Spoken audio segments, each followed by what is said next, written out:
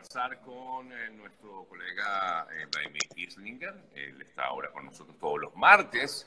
Y bueno, vamos a escuchar su análisis. De hecho, te he leído, eh, No te he podido ver. Yo siempre intento verte. Lo que pasa es que no me gusta que te des cuenta que te estoy viendo. Entonces he tratado de ver cómo hago para meterme con otra cuenta. No, mentira. Pero sí, este, me gustaría, pero sí quiero pues escucharte, porque te he leído, Vladimir, Sí. Y mm, leyéndote en tus comentarios, en tus análisis de lo ocurrido el fin de semana, te lo voy a decir, te vi muy pesimista. Cuéntame. Cuéntame eh, eh, tu punto de vista de lo ocurrido el fin de semana. Eh, sí, sí, así, así es, Sergio. el fin de semana quise escribir como ciudadano, no como periodista. Eh, quise escribir como una persona que le ha tocado estudiar la historia de nuestro continente y un poco más allá. Y, creo que estamos repitiendo gravemente mm, la historia de otros países como el caso cubano. Eh, yo ayer justamente en la noche en mi programa me puse a analizar y, comparar lo que está ocurriendo con Bolivia, lo que está ocurriendo en Nicaragua, lo que está ocurriendo en Cuba y lo que está ocurriendo en Venezuela. Fíjate que en el caso de Bolivia con Áñez hay varios elementos que hay que destacar. Todavía existe el peligro del regreso de Evo Morales a Bolivia. Eso es lo primero. No podemos desestimar que este ha sido un gran error para nosotros los venezolanos, subestimar es la palabra correcta, subestimar a esta gente. Es decir, los estados criminales latinoamericanos están muy bien armados, muy bien formados, muy bien estructurados. Y lamentándolo mucho, la franquicia cubana, yo lo decía hace anoche, el manual del franquiciado, eh, Fidel Castro entregándole a Hugo Chávez en su oportunidad el manual diciéndole, usted tiene que hacer como franquiciado esto, desde la A hasta la Z. Y así lo hizo. Eh, eh, Hugo Chávez en su oportunidad en Venezuela. Lo hizo Evo Morales, que, ojo, hay que estar claro, en, Bolivia también hubo eh, intervención cubana. La diferencia está en que entraron 700 cubanos a Bolivia y en Venezuela pasan los 22 mil funcionarios cubanos. Ahora, pero interesante es ver lo que ha hecho la, presidenta Áñez, que en, un, en 24 horas, de viernes para sábado, expulsó al 32% de los cubanos, de un solo plumazo. Claro, es muy fácil cuando son nada más 700.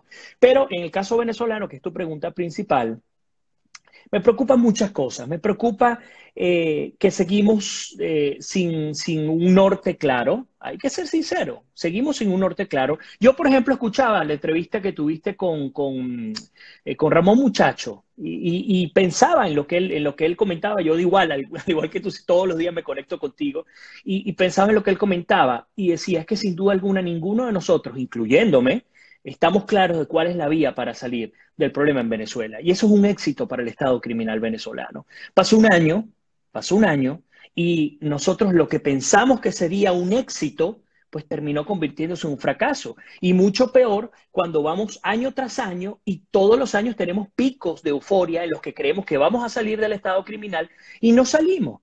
Eh, un buen psicólogo se sentaría a decirnos, es que eso es una estrategia también, porque nos están reforzando negativamente de tal manera en la que nos lleven a un punto en el que pues las esperanzas las perdamos. No es que yo las perdí, pero hay que, estar, hay que ser sinceros. Entonces yo ayer, mucho más grave lo que dije ayer a lo que tú leíste que escribí el fin de semana, ayer le decía a los venezolanos que están en el país, con todo respeto, porque yo estoy afuera, yo no tengo autoridad moral para hacerlo, pero les decía, mi decisión fue ante mi incapacidad para salir del régimen y la posibilidad de que me mataran en el intento, bueno, yo decidí tomar mis maletas, mis dos hijas y mi esposa y salir. Esa fue mi decisión.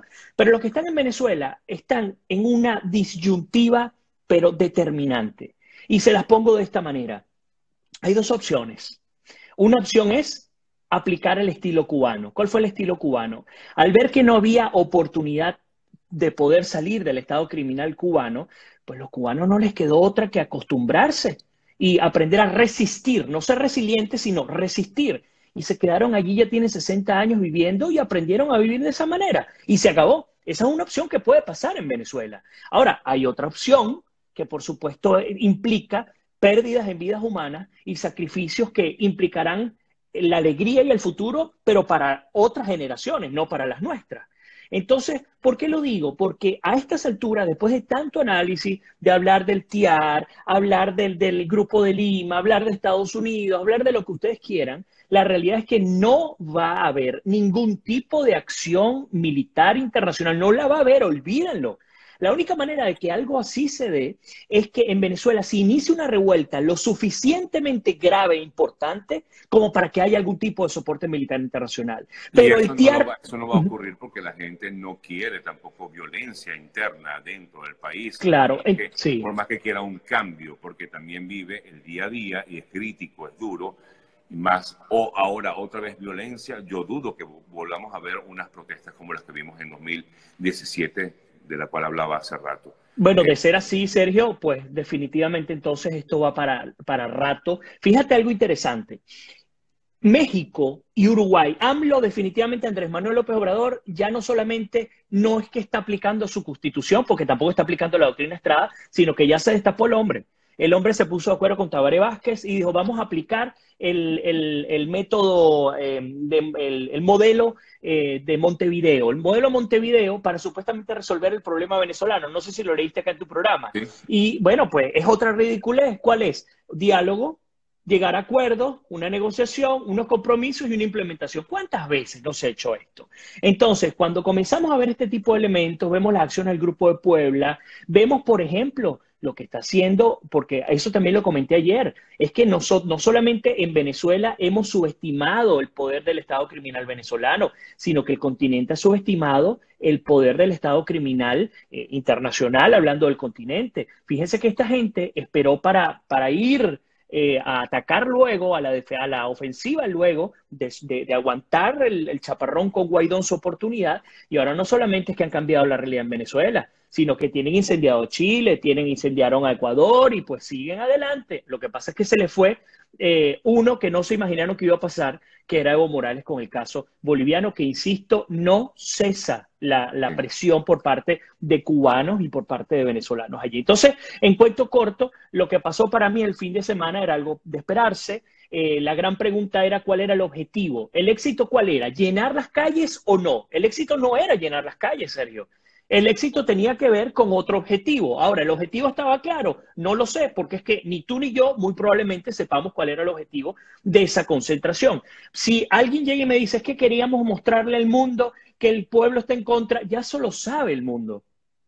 Entonces, pues me pregunto cuál era el objetivo de esa manifestación y ante el desconocimiento de ese objetivo, para mí fue un rotundo fracaso lo que ocurrió el fin de semana. Esa es mi, mi percepción. ¿Es un problema de comunicación, Vladimir? Comunicación hacia, la, población? No, es mucho más grave. Es un problema de fondo y tiene que ver con, qué hacer. Yo creo que el presidente encargado... disculpa, no sé si llegaste a ver la entrevista que tuve con Milos Alcalay. Él hablaba que hay un problema de que eh, falta la partitura. o sea, Guaidó está siendo el, el director, pero la partitura no está definida. Sí, va por oído. Ese sería, musicalmente hablando, el va por oído. Y no sé si la partitura no esté, pero tal vez esa partitura ha sido creada para unos músicos que no saben leer esa partitura de manera correcta, no tienen las habilidades musicales para poderlo hacer y por lo tanto comienzan a desafinar, comienzan a tocar a, sonar a destiempo y pues como consecuencia no termina funcionando la armonía que tiene que funcionar. Entonces, sí, de acuerdo contigo. Claro que termina, por eso es que digo, ojalá que fuese un problema de comunicación, pero es que el problema no es de comunicación. Incluso me pregunto quién fue el que escribió la partitura y si esa partitura se adapta a la realidad. Aquí hablaba con un americano republicano, que tengo muchos amigos republicanos acá, y hablamos del Medio Oriente. Y yo les decía, mira, el gran error de Estados Unidos fue entrar en el Medio Oriente sin conocer la cultura del Medio Oriente. Entonces, igual él me decía, para mí un error de mi país, de Estados Unidos, es que ha, ha desestimado la importancia de la izquierda en América Latina, subestimándola también. Entonces son maneras de entender quién escribe la partitura y cuáles son las consecuencias de no hacer la lectura de la manera correcta. Ahora, si esto es así, Vladimir, eh, y cuál puede ser en todo caso, eh, pues, cómo se abre esa puerta eh, a, la, a, la, luz. Em, pues nada, yo creo que, no sé, ¿qué queda? La esperanza y la fe en Dios será, porque, bueno, eso no lo podemos perder nunca, pero la verdad es que eh, yo no sé, yo soy de los que piensa, la Emir, de que algo puede ocurrir. Es lo que yo soy de los que piensa, sí. No quiero irme tanto como quien dice por un guion establecido yo soy que piensa que siempre puede ocurrir un capítulo o un episodio, eh, digamos, que es el que va a, tambalear toda, todo lo que uno, pues, eh, tiene, como quien dice, en el camino y es el que tambalea las situaciones, es la que nos hace reaccionar y es la que puede ayudarnos a encaminar hacia el, el futuro que queremos soy de los que piensan así. Yo estoy de acuerdo contigo. Y fíjate que cuando, cuando me hablabas de eso, pensaba en, en tu argumento y en el, cuente, el cuento de la partitura, el tema de la partitura. Siempre hay un inicio, siempre. Hay una chispa. El 19 de abril del año 2018, en Nicaragua, arrancó esa chispa que no ha terminado. El 20 de octubre de este año, arrancó la chispa en Bolivia y vimos todo lo que ha ocurrido. ¿A dónde voy? La pregunta es, ¿en Venezuela no ha habido chispas que hayan iniciado el proceso? Muchas, ¿verdad? Ok. ¿Cuál ha sido la diferencia entre Nicaragua, Bolivia e incluso Chile? Porque esa chispa que nació en Chile está funcionando para los que genuinamente están luchando por un mejor Chile. No estoy hablando de los violentos, estoy hablando de los pacíficos que lo están logrando. Ok, ¿cuál ha sido el, el punto determinante? Serio, la gente no se ha salido de la partitura. ¿A dónde voy? ¿Tuviste a Áñez ¿Tuviste a los, a, los, a los líderes opositores bolivianos sentándose a dialogar o a negociar algo con Evo Morales? La respuesta es no. Esta gente actuó con la rapidez que necesitaba, con un apoyo de un pueblo que no cesó. Y para el que me dice, pero es que allá no, no violan derechos. Señores, ya van 24 personas asesinadas en, Bolivia, van más de 700 heridos. Eso también ocurre. Es diferente también, hay muchas cosas allí diferentes. Recuerda el tema militar, también es diferente, la Fuerza Claro.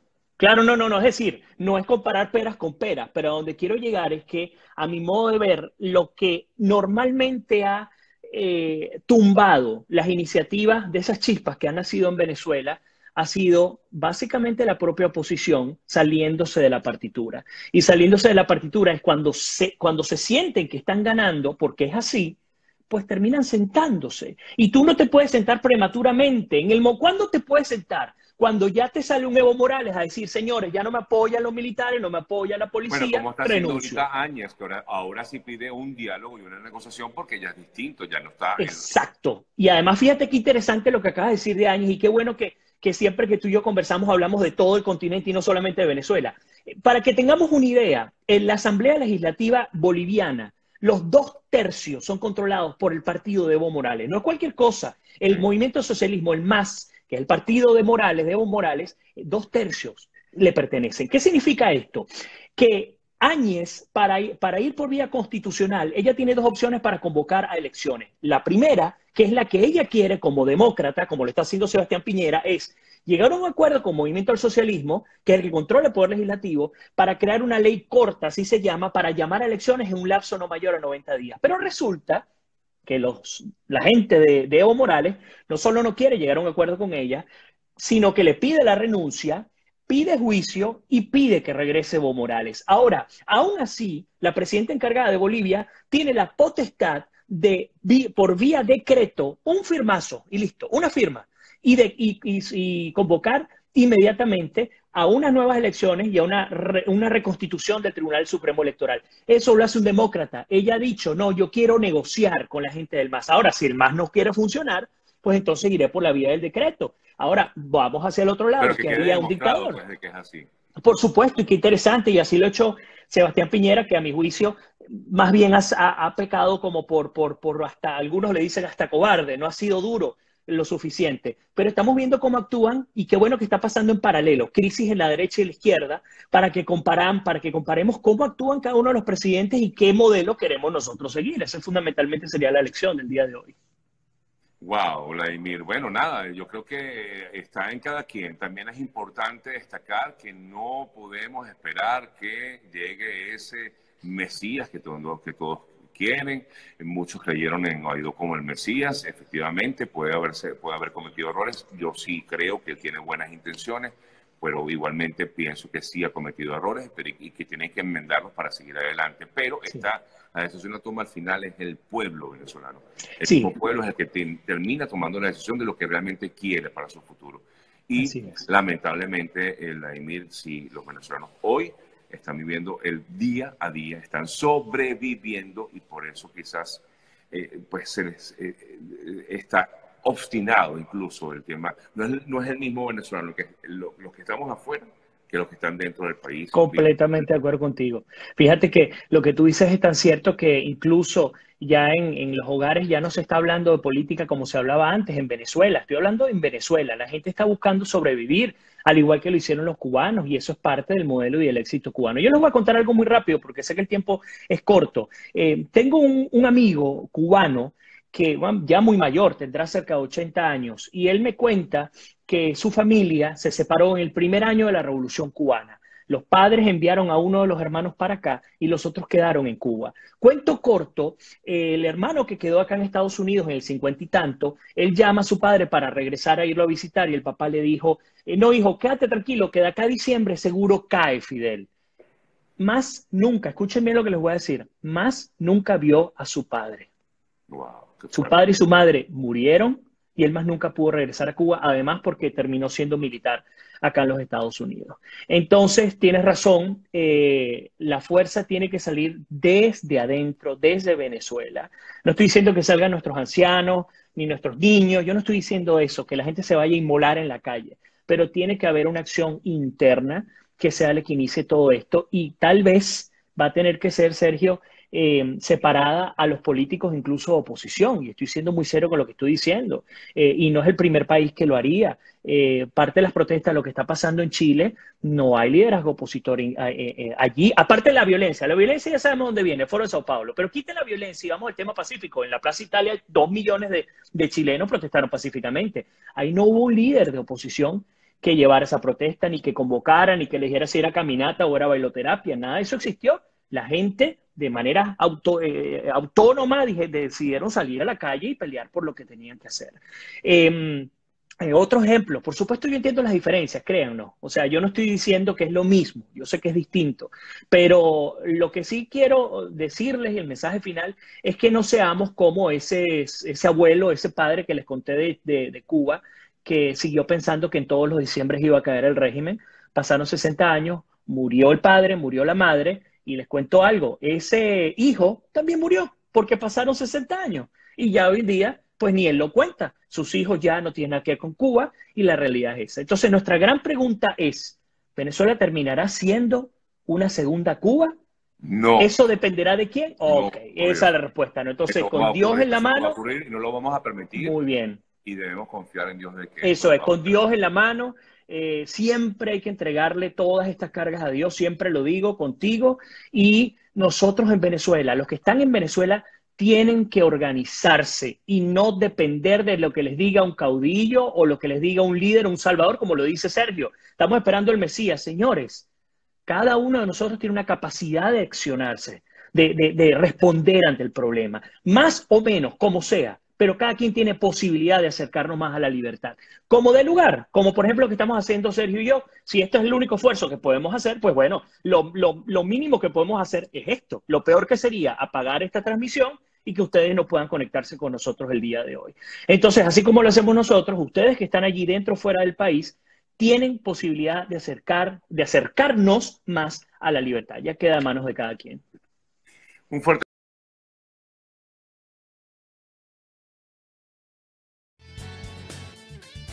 para el regreso ya terminar con nuestro programa. Ya venimos. Sabía que hoy